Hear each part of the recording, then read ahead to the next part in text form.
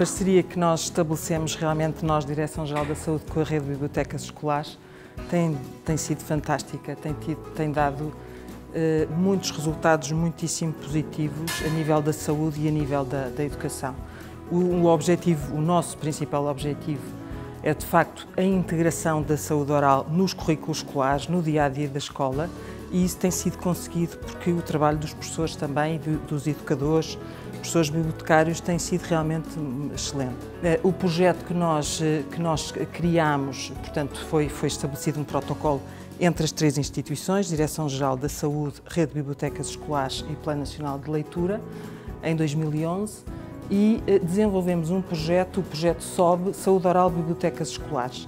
Eh, foi realmente um projeto, foi e continua a ser, porque eh, nós queremos continuá-lo, não é?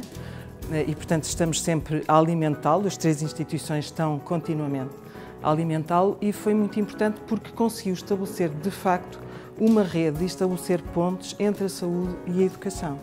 Portanto, a nível local, os profissionais de ambas as áreas eh, trabalham em conjunto com o objetivo último que é, de facto, promover a saúde oral, melhorar a literacia e, ao mesmo tempo, também eh, trabalhar as questões da leitura, da matemática, das artes e criar inúmeros, eh, inúmeras atividades como canções, peças de teatro, exposições de artes, de artes plásticas. Portanto, tem sido realmente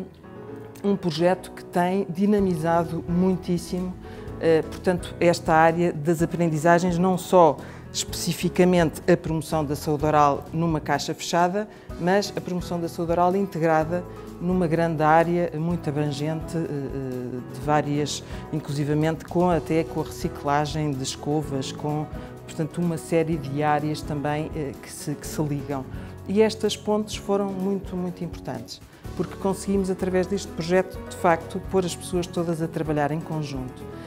Também outra, outra questão muito positiva é a relação depois que este tipo de, atividades realizadas a nível local têm também na comunidade onde se inserem, porque as coisas não ficam só eh, no centro de saúde ou na escola, fechadas, não, vão para a comunidade, há iniciativas uh, que envolvem famílias, que envolvem vários parceiros da comunidade, instituições, outras IPSS, uh, eh, grupos de escuteiros, grupos de jovens. Portanto, acaba por ter um impacto grande uh,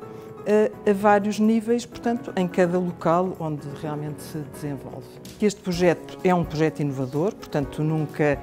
não só a nível nacional, mas, como a nível, mas também a nível internacional, e que ganhou um prémio dado pelo, por uma instituição, a Sun, Star Awards, eh, que foi, portanto, esse, esse, prémio foi atribuído ao projeto,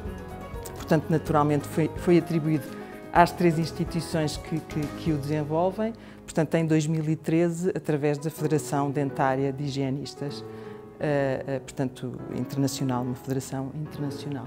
E, de facto, tem sido muito positivo. Se os professores não trabalharem a questão da leitura, eh,